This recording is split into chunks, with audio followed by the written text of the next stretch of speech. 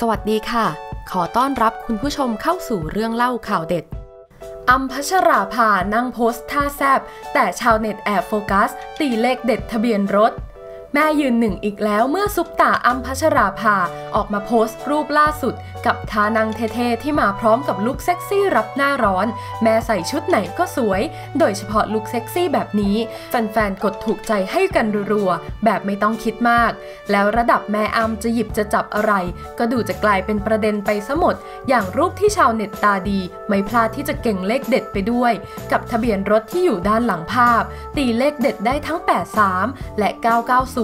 ก็ไม่แน่นะว่าแม่อ้ำอาจจะให้โชคแฟนๆ ขึ้นแทนเจ้าแม่ใบหวยอีกคนก็เป็นได้ นานๆ แม่จะแอบใบเลขให้นะทุกคน ใกล้วันตรวจหวยแล้วด้วย